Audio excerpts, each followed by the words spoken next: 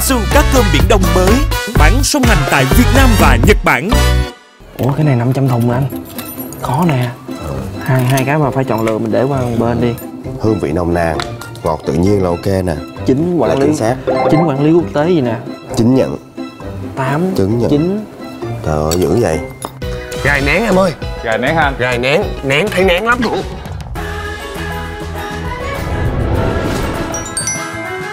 Ờ Nghe mùi đặc trưng của chỗ làm mắm chưa? À, rồi. Lúc đầu em em tưởng tượng là đi tới chỗ làm mắm giống như là kiểu nhà sản xuất rất là đơn giản anh. Ừ. không ngờ là một cái Quy mô lớn vậy ha. quy mô lớn quá ừ, Tại quá. vì nước mắm Phú Quốc nổi tiếng mà. À, ừ.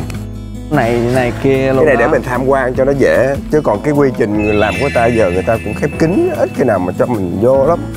Tại vì an toàn thực phẩm mà Mà em đi vô kiểu người nhà dân bình thường thôi Họ có cái nhà giống như vậy thôi nè. Ờ. Và họ có những cái ô nhỏ nhỏ nhỏ nhỏ nhỏ nè Chứ không có quy mô như thế này. Xin chào mừng mọi người đến với nhà thùng nước mắm Kinsu Phú Quốc. Ồ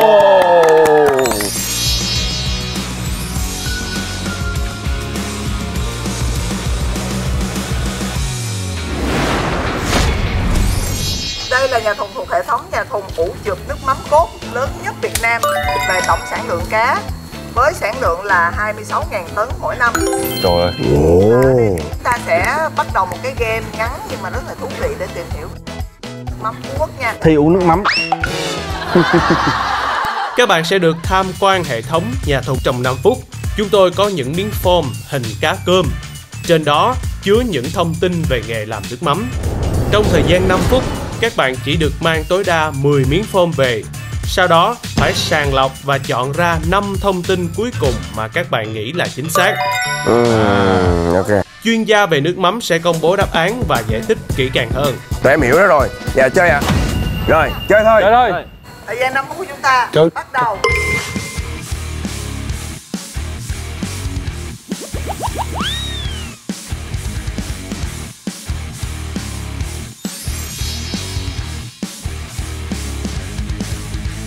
Ủa trời nhiều vậy? Nhiều nha. Thời gian ủ chượp kéo dài trung bình từ 9 đến 2 tháng. À là nó có hai đáp án. Mình phải lấy sao cho chuẩn á? Ờ. Có khi nào nó lên nó rớt vô cái, cái... Rồi rớt xuống là đi luôn á. Đi luôn á nha. Rớt xuống là mãi la nha Chứ không là đi luôn á. Nè, ngày nhập chượp là nhiêu? Là ngày 12 tháng 4 năm 2022 hai hai. Bây giờ là bây giờ sao là một năm rồi. Bây giờ 23 rồi. Ở đây nó ghi nhiêu? chưa lấy là phải hơn. Ờ, phải hơn. Vậy là loại cái 9 này đến, nè loại cái này 9 đến 12 tháng hoặc là 13 đến 15 tháng. giờ em có cái thùng này nó cũ hơn á. Ủa cái này 500 thùng anh. Khó nè. Hai hai cái mà phải chọn lựa mình để qua một bên đi. Hương vị nồng nàn Ngọt tự nhiên là ok nè. Chính Là quản lý chính xác. Chính quản lý quốc tế gì nè? Chính nhận. 8 Chứng nhận. 9 Trời ơi dữ vậy. Gài nén em ơi. Gài nén ha Gài nén Nén thấy nén lắm. Ở đó nó có màu gì em? màu ờ, đỏ nâu cánh gián màu hơi ngã vàng màu nâu sậm. Đỏ nâu cánh gián đỏ nâu cánh gián rồi Rồi. đi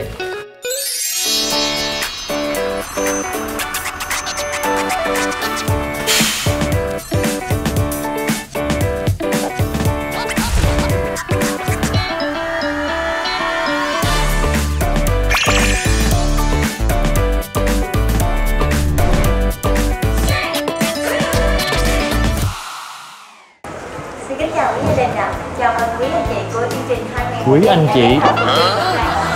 Yeah Dạ, đầu tiên khi gia đình mình đến đây thì quý gia đình mình sẽ thấy con thuyền này trước. Dạ, con thuyền này là con thuyền khởi nghiệp của chủ doanh nghiệp tại đây, ông Hồ Phi Thủy. Ông sinh ra và lớn lên tại vùng đất Thạch Hà, Hà Tĩnh. Năm 19 tuổi vì gia đình của ông quá khó khăn nên ông mới rời xa quê hương Hà Tĩnh vào Phú Quốc để lập nghiệp và mưu sinh bằng nghề thợ lặn.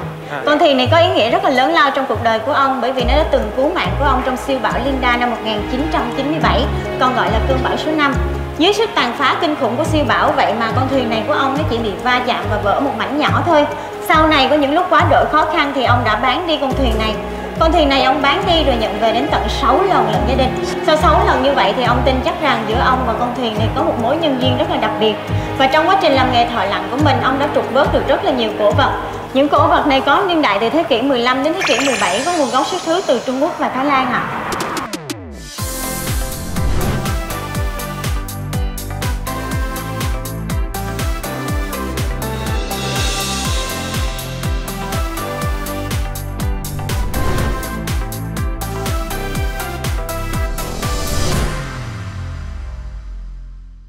thì trước khi mình xem mẫu trai lấy ngọc đấy ạ thì đây là ba giống trai bên ông trại bên em đang nuôi cấy và lấy ngọc giống trai nhỏ nhất có tên gọi là trai Akoya mình nuôi cấy trong khoảng thời gian từ 2 đến 3 năm.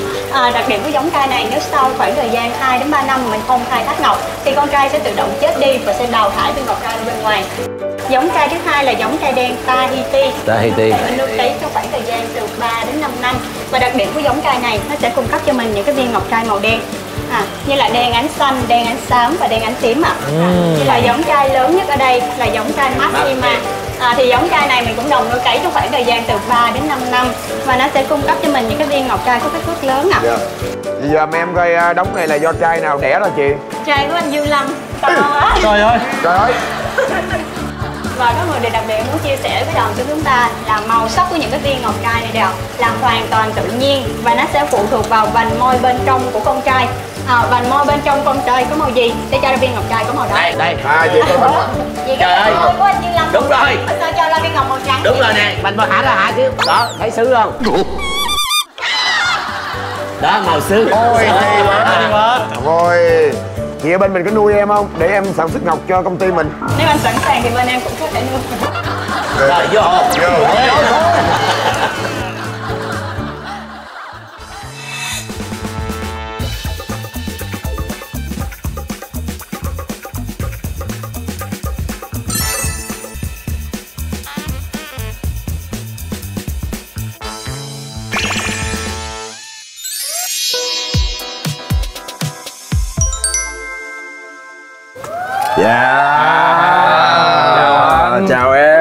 Có vẻ như kết quả hơi nhiều. Có chưa? Đúng.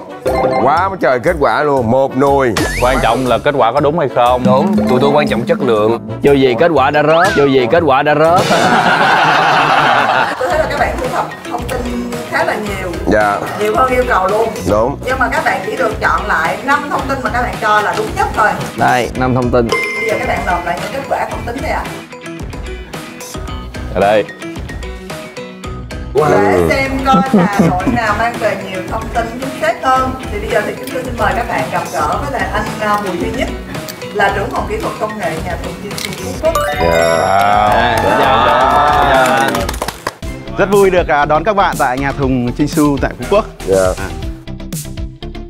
Giờ mình sẽ giải đáp các thắc mắc và sẽ giới thiệu sơ các bạn về cái nhà thùng các bạn Dạ. đang đứng ở đây. Đây là một trong năm phân xưởng của Masan đóng ở đây để sản xuất nước mắm cốt. Ồ. Là nguồn nguyên liệu để mà sản xuất nước mắm Chinsu. Các bạn đây tưởng tượng những cái thùng này là mỗi thùng đang có sức chứa là từ 12 đến 15 tấn cá nha. Ồ. Ở Phú Quốc rất đặc biệt, cá được muối đủ ba cá một muối tại ngoài biển và đưa trở về đây ngâm một ở đây Dạ. là những giọt nước mắm cốt Dạ tại đây đang đặt ờ, đây khoảng cỡ 500 cái miệng như thế này với sức chứa 10.000 tấn tại đây bây giờ thì à, các bạn đã mang về nhiều thông tin rồi Vâng. và lần lượt từng đội sẽ đọc từng thông tin lên anh cầm cái thông tin đó lại và anh anh cho biết là đúng hay sai anh Vâng, vâng.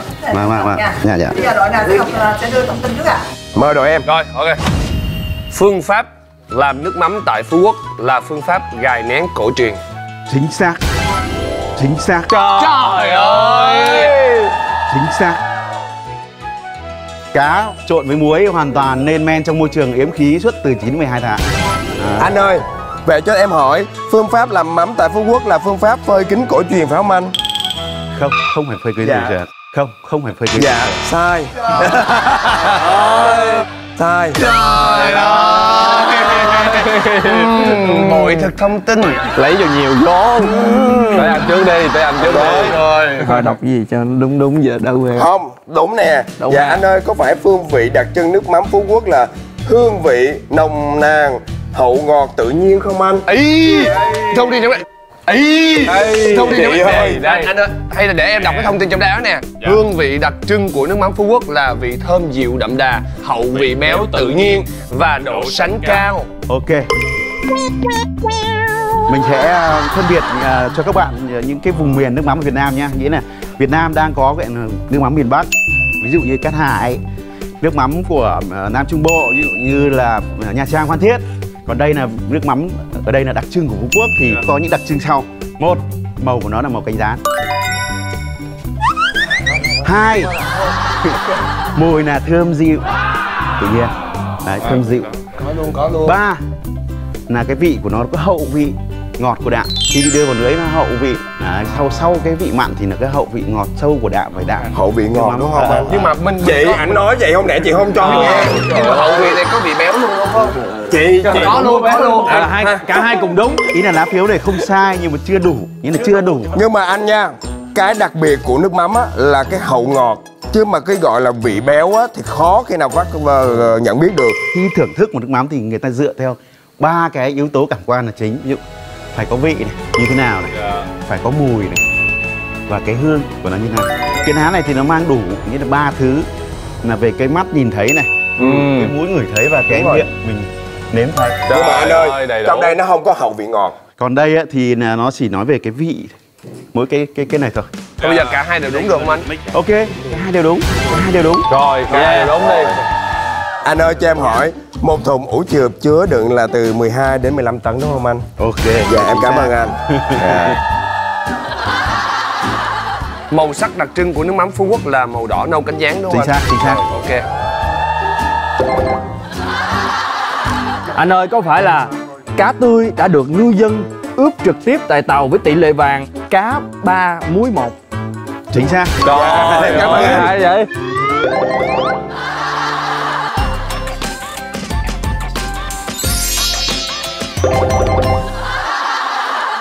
đây cũng chính là cái rất đặc trưng của phú quốc. Dạ. Là Tại sao anh? mang muối ra ngoài biển. Họ muối cá là trộn hơn. Nếu vậy là đúng chính xác là cái độ béo của nó cũng cũng cũng cũng cũng, cũng tăng á anh. Tại vì nó là rất là tươi luôn á. Đúng rồi đúng rồi. Nó giữ được vị béo. Dạ anh ơi, thời gian ủ chượp kéo dài trung bình từ 13 tới 15 tháng đúng không anh? trung bình từ 13 đến 15 tháng cái này thì chưa chưa đúng chưa chưa đúng. Trời.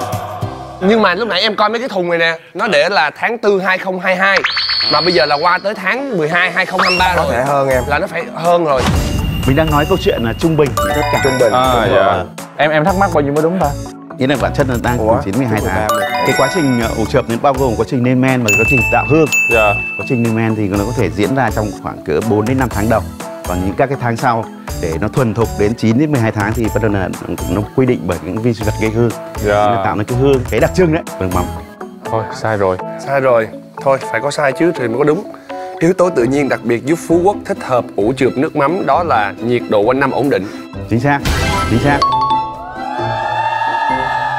Sản xuất nước mắm chính là một quá trình lên men được quy định bởi các cái enzyme trong nội tạng của con cá. Thì cái này là Phú Quốc rất là đặc trưng thiên nhiên ưu đãi cho Phú Quốc nhiệt độ trung bình 27,5 độ C. Các tháng rất đều nhau. Rất thích hợp sản xuất nước mắm. Thì hồi nhỏ á tụi em có coi tivi. Dạ. thì hay người ta hay nói là đây là đây là sản phẩm Có đạt tiêu chứng chuẩn. chỉ. ISO 9001 à đó thì có phải là nhà nhà thùng được chứng nhận quản lý là bởi chính chứng chỉ và tiêu chuẩn quốc tế không anh nhỉ? Ở đây thì mình đang có nó khoảng uh, 7 cái hệ thống quản lý. 7 cái hệ thống quản lý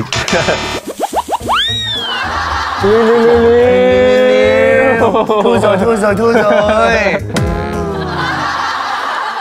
ví dụ như ở đây có à, ISO 9000 về quản lý chất lượng này. Dạ dạ ở đây có cốt EU để xuất khẩu sang à, thị trường châu Âu. Dạ ở đây có cả cốt HANA dạ. để có thể xuất khẩu vào trong thị trường. Các nước hồi giáo. Những nước Ừ. à, rất là cũng rất là khắt khe. Dạ đặc biệt có cả gọi là cái tiêu chuẩn an toàn sức khỏe nghề nghiệp. Thì ở đây là có bảy cái hệ thống đó và có các cái chuyên gia của đánh giá viên của BSI là viện tiêu chuẩn Anh. Họ định kỳ đến đây. Họ đánh giá cái sự vận hành ở đây và họ cấp những cái chứng nhận này. Đây cũng là cái rất là đặc thù của nhà thầu chính chu ở đây. Hay quá. Cảm ơn anh rất nhiều. Như vậy là với Đúng rồi. một thông tin đúng được một viên.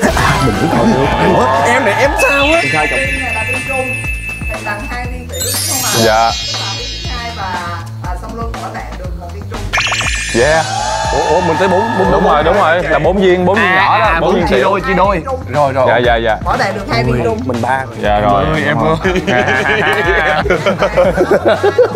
Cho em lãnh học bổng đi. Có nghĩa là 6 viên tiểu thì ở đây chúng tôi đang có quy cách là viên trung thôi. Các bạn chia ra mỗi đội mỗi một viên là ba viên. Dạ được được được được được. Đây, lấy lấy lấy bằng khen đi cho em hai viên. Trời ơi dễ thương anh một quá. viên thôi. Có duyên đến à, đây với à, nhà thùng à, Chinsu mình à, xin phép được thay mặt nhà máy tặng cho các bạn chai nước mắm Chinsu cá cơm biển Đông. Đại diện ban bạn dạ rồi cảm ơn. Dạ em cảm ơn anh. Chai nước mắm này được sản xuất từ những cái giọt nước mắm tại đây và được tuyển chọn rất là gắt gao Dạ. và đặc biệt tại nhà thùng này thì à, hiện tại những chai nước mắm à, cá cơm biển Đông này đang được bán song hành ở thị trường Nhật Bản và thị trường Việt Nam. Đấy. và sẽ sắp tới có à, nhiều rất là nhiều nơi nữa sẽ có xuất hiện những chai này. Mình à, xin phép được tặng các bạn. Dạ em cảm ơn anh. Ồ cầm chai nước mắm mình yên tâm mình ăn liền. Dạ tụi em ờ, cảm ơn anh rất là nhiều đã ờ, cho tụi em biết được nhiều cái thông tin rất là bổ ích. Dạ, vâng và thì em đây cũng là lần đầu tiên được đến một cái xưởng nước mắm nó quy mô hoành tráng như vậy. Và em cũng là một cái người mà không thể thiếu nước mắm trong mỗi bữa ăn trong gia đình. Cảm ơn anh đã cho em cơ hội được biết rất nhiều kiến thức trong ngày hôm nay. Dạ. Cảm ơn anh rất nhất. nhiều. Dạ. Dạ. Chào các bạn cảm ơn anh nhất xin cảm ơn các bạn. Và bây giờ thì à, các bạn sẽ di chuyển đến cái à, điểm tiếp theo của chúng ta ha. Dạ rồi. Dạ, Rồi. vâng, dạ. Em cảm ơn. Anh Sẵn sàng. Dạ